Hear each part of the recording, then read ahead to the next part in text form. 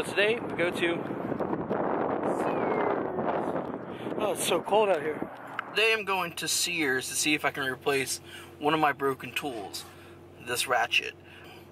Alright, so a lot of people have been responding to my Sears Sucks video I did uh, about six months ago. Some people have said uh, I've had no problems replacing any of my Craftsman tools at Sears. Um, let's see my Sears and Ace still take my Craftsman tools for exchange. Um, the Sears where I live still exchanges tools, no questions asked. So I was thinking of going back to the Sears where I live and seeing if they'll exchange my ratchet. I had this ratchet, let's see, I got this ratchet in Christmas 2005.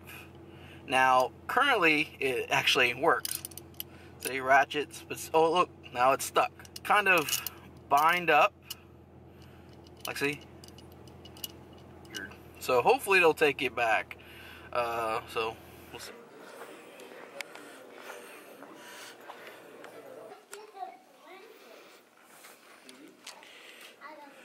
So I need to exchange a tool. This is a 3 8 This is the only 3 8 that we have. That's probably a short one like that, right? yeah. I don't mind it being shorter. That's as long as it's three eighths. But I didn't know if which, if you have to exchange the exact length or something. In the box. Yeah.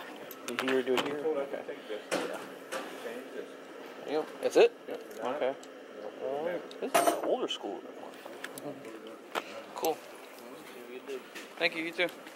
From what I remember, it used to be they would exchange a broken tool for a new tool. So now it's they exchange a broken tool for a refurbished tool. Didn't have one refurbished that was my length. They had this one which is about an inch shorter, which was like the new one I picked up.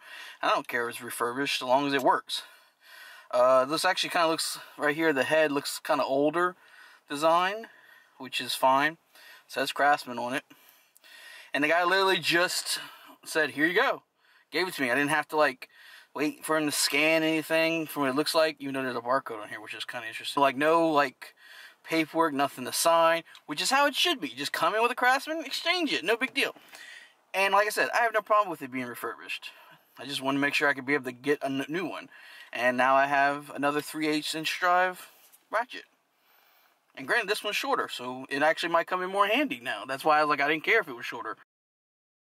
So, yay! Wait, hold on. I can do this. I can do this hit myself in the head.